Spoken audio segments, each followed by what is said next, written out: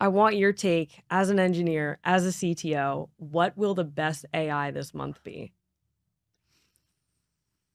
I'm bullish on Gemini right now. I use You're it. bullish on Gemini? I use it for a lot of my code right now, and I go back and forth, and it's really good at not being delirious. Like at the end, it circles back to what you asked, which is beautiful. So I'm bullish on Gemini. That's what I'm coding with right now.